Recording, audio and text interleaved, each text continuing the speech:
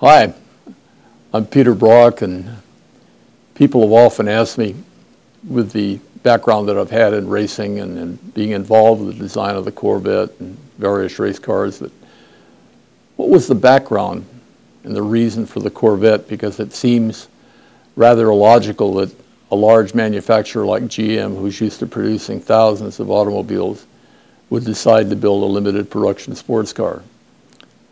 And like all great projects, it all comes back to individuals. If you look back in American history, we had some great sports cars back with the Mercer and the National and the Stutz, but those cars disappeared, and it wasn't until World War II when the GIs came back uh, with the little sports cars like the Singers and the Jowetts and the MGs that we got a new sense of interest in driving and fun to drive. And if it hadn't have been for Harley Earl and realizing that there was a whole new possibility in creating a different market for an automobile and going to Watkins Glen in 1951 with the LeSabre sports car, which was a, a, total spaceship, not anything like anything that people believe a sports car should be. But he wanted to find out what it was like. Went there in 51, wowed the crowds with the cars, also saw what sports cars were supposed to be, and decided that he would build a sports car at GM.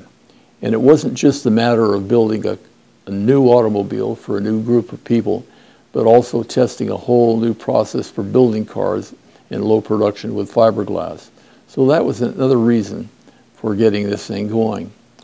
The first car that uh, he did, the, uh, the 53 Corvette that uh, was shown at the Waldorf Astoria early in 1953, was an absolutely beautiful car. It wowed the crowd, but it was really a parts bin special. It didn't really have any performance. It had the standard six-cylinder engine of the time, a, a very anemic two-speed automatic. So it, it didn't impress anybody in the sports car community, either on the West Coast or the East Coast, where things were really heating up in this market. So it really the, the car was almost a failure within, uh, within General Motors management. They, they couldn't build enough of them, uh, a few hundred of them really. And it wasn't until Ed Cole dropped the, uh, the small block Chevy in the 55 that really things took off and it came back to being a real sports car. So again, it's the personalities, the true believers in the idea of a sports car and creating a new image for Chevrolet that uh, that the Corvette came to be. Even with that, when the first car showed up at uh, the Waldorf Astoria in early 53, it was Zora Duntov who had come over to the United States, who'd already raced for Porsche and for Allard and saw the potential of the automobile and uh, went to General Motors, convinced them that he could be the leader of the, uh, the sports car culture in Detroit because there wasn't any. Detroit was an area that didn't have any great sports car roads. People didn't understand the whole concept of what a sports car should be. So Zora Duntov became that, that leader of the idea. But it was that combination of Harley Earl to understand that there was a possibility of finding a new niche market, new materials, Zora Duntov and telling them what a sports car should be, Ed Cole coming up with a V8 engine that really made the idea click. The problem was is the car didn't sell very well. Ford also had seen the possibilities, and Virgil Exner at Chrysler had also seen the possibilities. So the Corvette didn't go over well at all. It didn't compete with the Thunderbird. Chrysler didn't uh, capitalize on the, on the car that they were doing.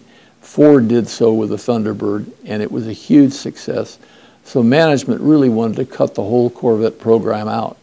That combination of those four people, Harley Earl, who saw the potential, Zora Duntov, who knew what it should be and came in as a leader of the Corvette project. Ed Cole's V8 engine, which gave performance a whole new meaning in American sports cars. And of course, Bill Mitchell, who decided that he would go totally against management and build a new Corvette. So in the book that I've written on the Corvette, explains that whole history of how this came to be you know, with all the sidelights that we did with Zora's Duntov uh, racer uh, Sebring in 1957. So if you look through the book and you can see all the original sketches, I mean, they had ideas for a mid-engine Corvair uh, engine car, which uh, Ed Cole had also been responsible for. So there were lots of ideas before it really came down to what Bill Mitchell decided what the new Corvette was going to be. So if you're really interested in the whole history, there's a great book on this, Corvette Stingray, Genesis of an American Icon, that really explains why the Corvette came to be and all the, all the prototypes that almost made it and didn't make it. Uh, all of these people, who they were and what they contributed, I think you'll really enjoy the story. It's a great adventure in automotive American design. So contact us for it, and we'd be glad to send it to you.